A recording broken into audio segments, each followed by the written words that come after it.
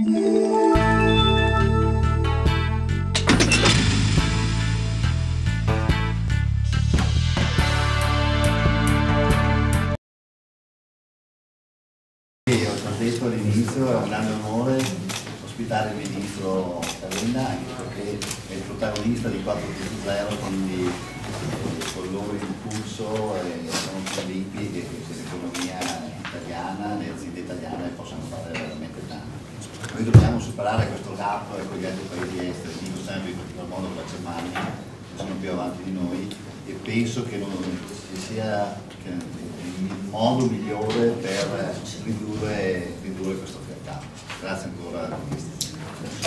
come volete Vai. Una, una parola di benvenuto Ministro, grazie per essere passato per Vicenza, dove aziende importanti, innovative come questa, sono quelle aziende che aiutano le aziende peraltro a stare nell'internazionalizzazione, quindi un focus molto importante. Questa è una terra che ha nel DNA l'essere imprenditore, lo ha dimostrato negli anni, lo ha dimostrato nella sua capacità di export, ci sono le categorie. Ovviamente è una terra che è anche ferita da una, da una, da una ferita profonda che è quella bancaria di Banca Popolare di Vicenza, che eh, incide, che, che, che, che crea eh, per certi aspetti anche povertà e difficoltà per, i singoli e difficoltà per l'impresa.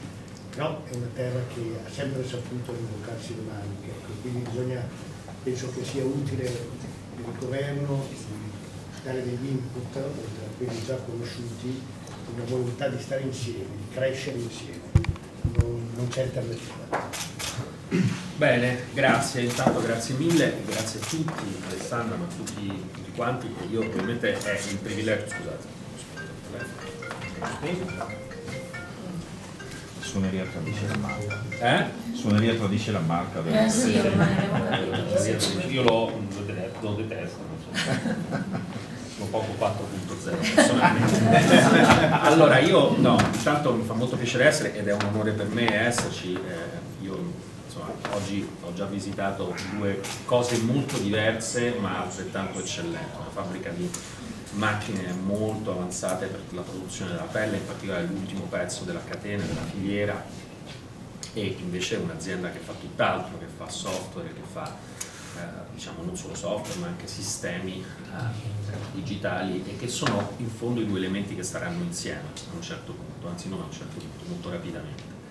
Sono due cose che convergeranno e, e poi abbiamo un incontro dopo con un altro mondo che è quello della produzione diciamo, agricola di prodotti agroindustriali che è il terzo tassello. Questa cosa bisogna che stia tutta insieme, no? una volta il digitale era un settore in qualche modo separato, su cui molti hanno giocato in maniera positiva una scommessa, oggi il digitale e l'industria stanno insieme ed è un grande cambiamento, ma è un cambiamento che si adatta molto all'Italia, al contrario di quello che si potrebbe pensare, perché in realtà migliora l'efficienza attraverso la tecnologia e dunque l'economia di scala è meno rilevante e anche l'azienda piccola può competere e tenere le nicchie. Prima parlavamo con la signora che ha un'azienda di denim straordinaria che, che vince i premi in tutto il mondo, questa cosa è rafforzata, questa vocazione del presidio delle nicchie di alto di gamma, è rafforzata dall'industria il problema qual è e dove nasce il ragionamento che facciamo, che abbiamo fatto col governo? Nasce dal fatto che se voi vedete la crisi, che in Italia è stata più devastante che in qualsiasi altro paese europeo, eh, tolta va bene la Grecia, ma insomma i grandi paesi, se voi prendete l'unico dato che, in cui noi siamo andati meglio di uno delle nostre comparables è l'aumento della disoccupazione, la Spagna è andata peggio di noi, l'unico, per il resto noi siamo andati peggio di tutti. E perché siamo andati peggio di tutti? Io all'epoca ero appunto lavoravo in azienda perché la parola industria, che la politica industriale è scomparsa dall'Italia per 20, 25 anni, forse anche 30. Cioè l'idea in Italia è stata sempre che l'industria che in fondo ha tirato fuori il paese dalla povertà, noi siamo un, paese, un grande paese perché c'è l'industria, perché c'è stata l'industria, e tante altre cose, la cultura ovviamente, ma la prosperità è venuta da questo, fosse data per scontato. C'era e se la cavava e funzionava e gli potevamo mettere qualunque carico possibile, tanto chi se ne Allora, il senso del piano che abbiamo fatto è un, un senso duplice. Il primo, aver riportato l'industria al centro dell'agenda politica. Il tema dell'industria è il tema della crescita e se non si affronta, non si affronta il problema della crescita. Secondo elemento che tra tutti i dati, quello più preoccupante per me è il crollo degli investimenti.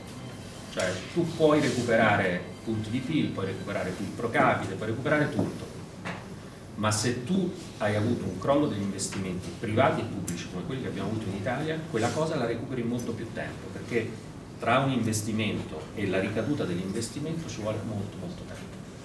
Questa è la ragione per cui il primo piano di politica industriale che si fa in Italia da molti anni a questa parte è concentrato su questo, sugli investimenti, sulle aziende che investono.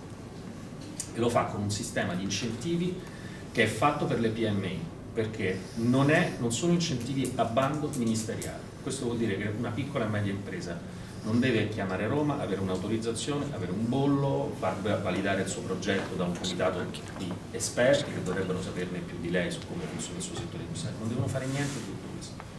Devono prendere e usare incentivi fiscali per conto loro, non li devono neanche avvertire, devono solamente spenderli, e spenderli tanto spero e spenderli bene.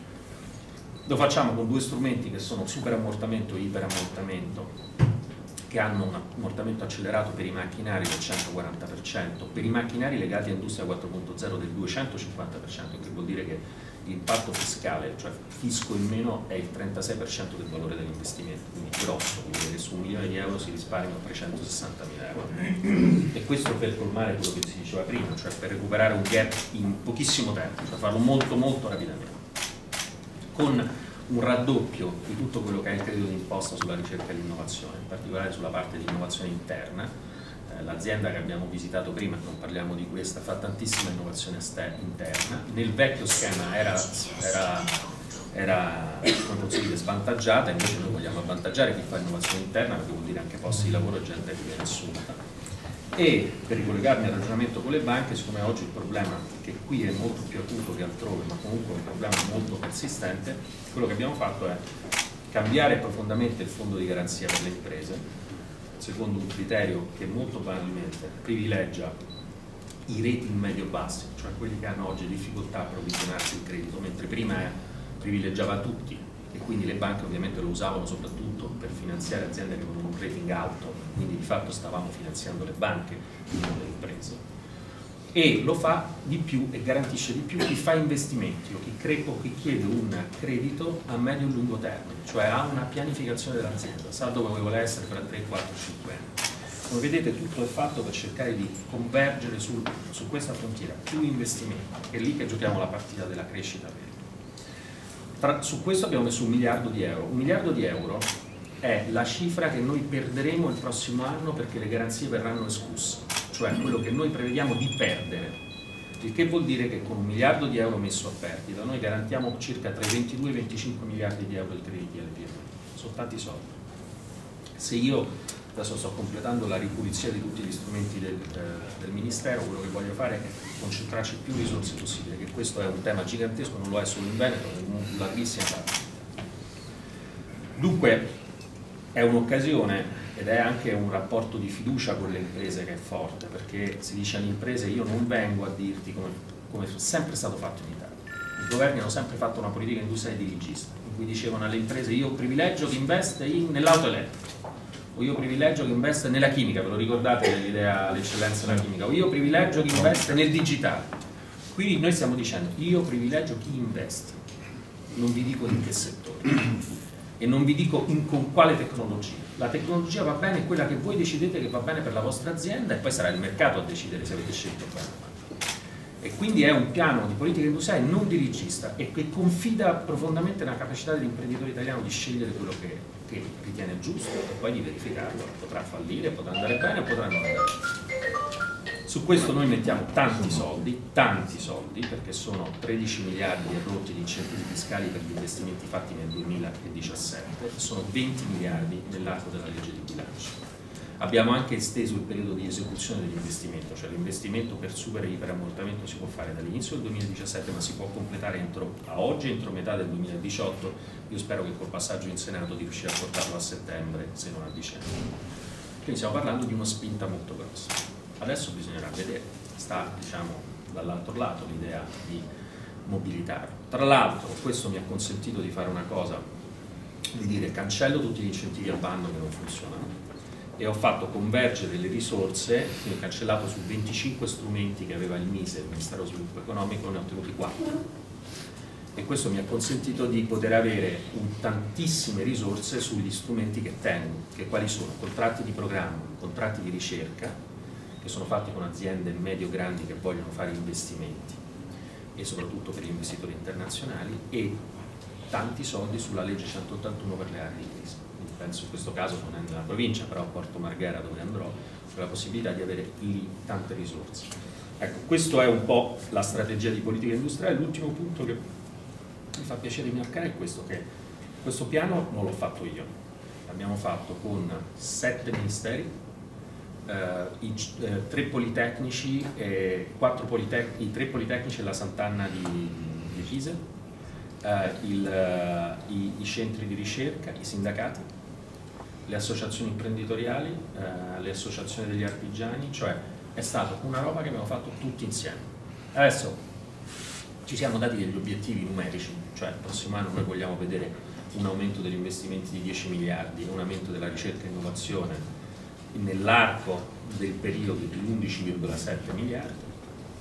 Ci ritroveremo con questa cabina di regia tavolo, eh, tavolo di coordinamento termini orrendi, ma in questo caso funzionano, a un anno data, vediamo se i numeri ci sono non ci sono, i numeri sono pubblici, ce li hanno sul sito del Ministero, quindi tutti possono verificare.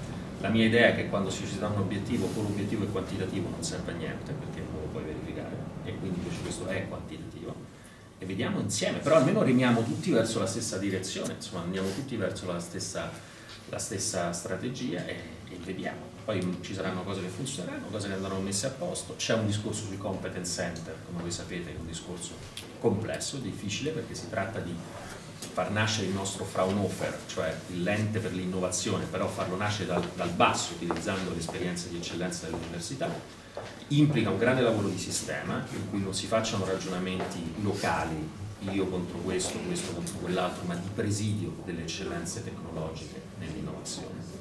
Quando in Italia si dice di mettere a sistema e superare il localismo è già una cosa che quando la dici sai che sarà la pezzo più difficile, mentre la parte di incentivi fiscali da gennaio li dovete solo usare, da questa parte qui richiederà un grandissimo lavoro. Questo è un po' il disegno. E se c'è un posto che, da cui misureremo se abbiamo fatto una cosa buona o non abbiamo fatto una cosa buona sarà il Veneto, perché il Veneto ha tutte queste caratteristiche. Prego, io qualunque domanda. Ministro, grazie. Io l'ho ascoltata anche quando è venuto in Industria Roma e apprezzo molto la sua tempestività la centralità sull'industria come valore per il sistema paese e l'automatismo di quello che, che, ha, che, ha, che ha, proposto. Eh, ho una domanda secca, una grande preoccupazione. Allora, per noi il Veneto è molto importante quello che lei sta facendo e quello che lei ha detto e stiamo veramente al suo fianco su questo. Eh, cosa succede? Eh, la legge di stabilità approvata alla Camera, al passaggio al Senato, adesso siccome siamo un paese dei fenomeni in cui quando si riesce a costruire qualcosa eh, poi bisogna sempre distruggerlo, vorrei capire se eh, è ottimista e riusciamo veramente ad arrivare allora, io penso che diciamo, da qui al passaggio a legge al Senato abbiamo qualche piccolo appuntamento nel weekend, ma successivamente all'appuntamento del weekend siamo per natura ottimisti. Nessuno, eh, nessuno, si è proposto di toccare quello che abbiamo messo che è stato recepito non solo per intero alla Camera, ma è stata aumentata la dotazione rispetto al progetto iniziale del fondo di garanzia già come proposta della Presidenza del Consiglio. Quindi il passaggio al Senato lo vedo come un'opportunità di rafforzamento, in particolare sui tempi di esecuzione, costa un sacco di soldi, eh? su allargare i tempi di esecuzione del super e dell'iperammortamento, però è quello su cui io vorrei portarmi a casa. Se diciamo se c'è una costanza di governo io non vedo problemi e spero che comunque non ci siano problemi, perché se se no sarebbe veramente un gran lavoro che arriva già in ritardo, perché noi eravamo in grandissimo ritardo su questo e sarebbe una delusione enorme. CISL, segretario. Eh, solo due piccole domande. Eh, la prima, noi chiaramente quando parliamo di sviluppo economico parliamo anche di distribuzione, perché eh, certo che uno non esiste no, senza l'altro, soprattutto oggi. Abbiamo due temi che sono importanti a Vicenza. Il primo riguarda la necessità di costruire, secondo me anche un problema che riguarda lo sviluppo economico, non solo Poletti, suo collega, di costruire la possibilità di incentivare gli accordi di partecipazione, perché il primo passo della rete delle relazioni che deve essere prevista naturalmente per le piccole e medie aziende perché aziende che, perché lì è ancora più necessaria è anche quello di creare rete di relazione tra capitale e lavoro, come si diceva una volta. Noi vogliamo rilanciare questo tema a Vicenza e su questo abbiamo fatto un accordo che abbiamo distribuito ai suoi colleghi e che è uno per adesso no? e che vorremmo fosse maggiormente incentivato evidentemente, che è una necessità del cambiamento verso il 4.0, società 4.0, economia 4.0. Il secondo riguarda le partecipate e le utilities, una domanda che le faccio. Noi crediamo che possano essere, se c'è una governance locale, le utilities se ben gestite, comunque come aziende che devono stare sul mercato, e qua non stiamo pensando ad altro, a Vicenza da questo punto di vista c'è un'ottima, come si può dire, mm, c'è una buona pratica, eh? le utilities devono avere anche la possibilità di essere aziende a governance pubblica perché devono avere un compito nella nostra visione e il compito anche di distribuire aziende come questa che hanno altre tecnologie, governance, know-how, eh, economia e non soltanto quello di produrre reddito al capitale che invece un'azienda privata ha per necessità, no? Allora, vorremmo ci fosse un, la possibilità di incentivare maggiormente una governance pubblica sull'utilizzo quando è strumento, naturalmente non di baracconi, ma quando è strumento come a Vicenza è, di buone pratiche di buone aziende, perché possono essere il braccio, la dico così, il braccio economico anche del pubblico nell'economia, eh, della politica nell'economia. Sto parlando naturalmente dei servizi pubblici, che riguardano l'energia, che riguardano anche settori ad alta, dire, anche ad alta competenza, ad alta tecnologia. Guarda, ti, ti, ti rispond risponderei così. Eh, io sono un forte sostenitore dell'idea che le aziende, che bisogna lasciare spazio al mercato e alle aziende private.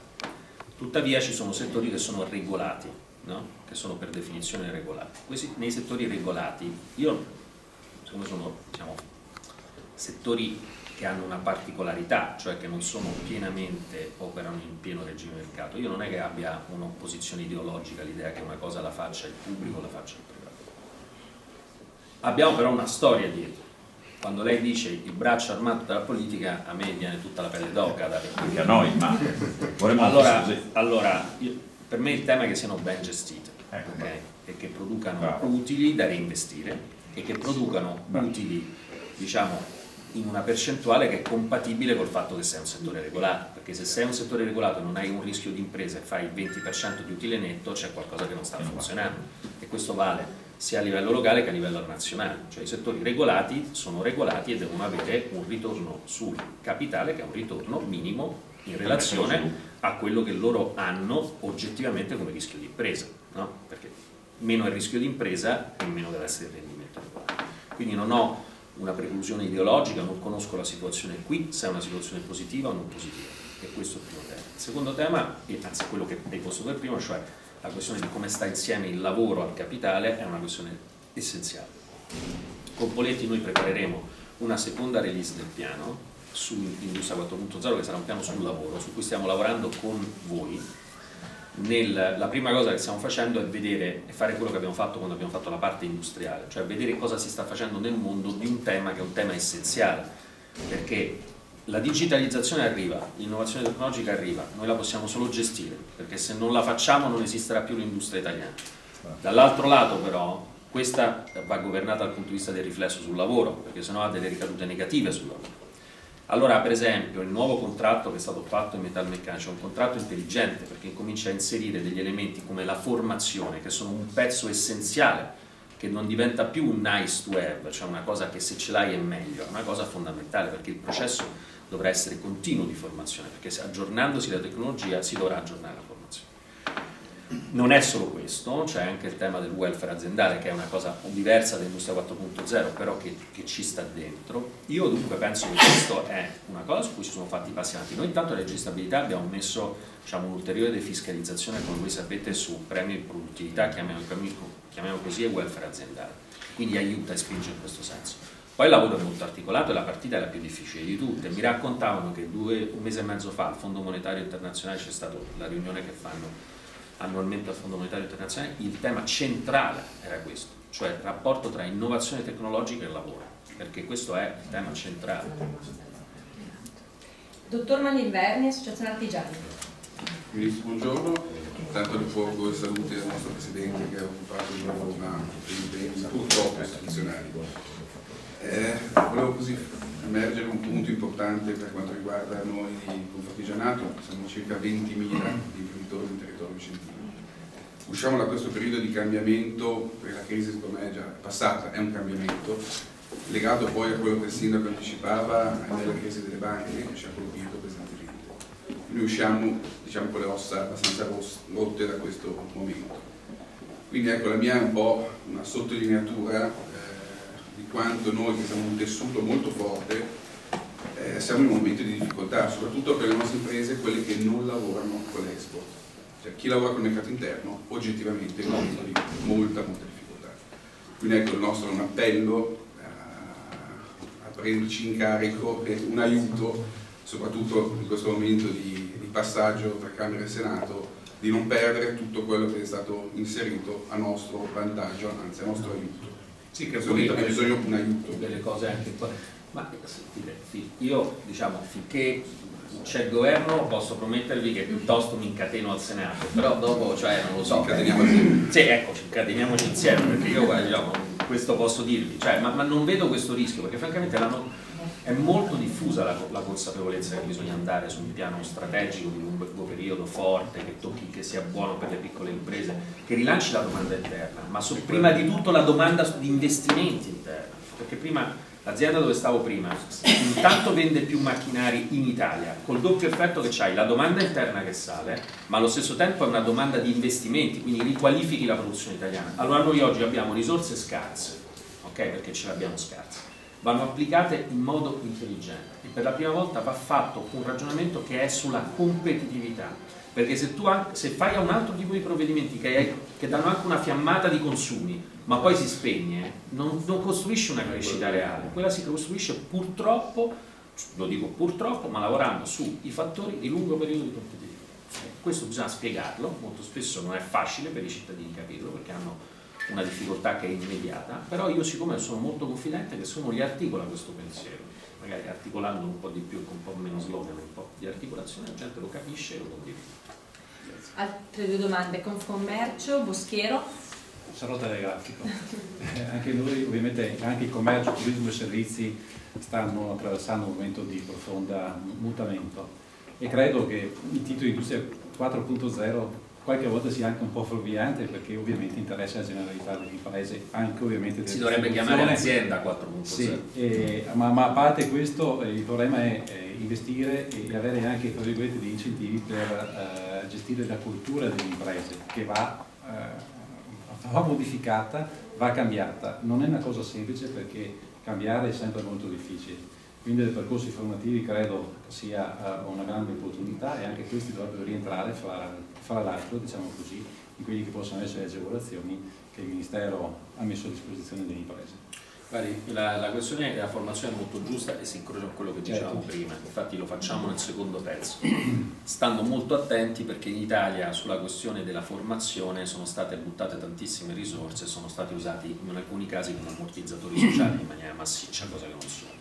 Ha fatto un lavoro qualitativamente significativo. È vero, si chiama Industria 4.0 perché impatta sull'industria e perché io mi sono stancato di cambiare il nome continuamente, perché ieri un imprenditore diceva no, bisogna chiamarla già Industria 5.0, un altro, cioè alla fine ho detto ragazzi facciamo, facciamo che stiamo tutti sullo stesso nome perché sennò, però è l'azienda, perché le aziende di distribuzione sono immensamente impattate da questo cambiamento. Le aziende di servizi non ne parliamo proprio, per cui insomma chiamiamola industria e ci fa piacere che il termine industria ritorni centrale, ma poi è l'azienda che cambia.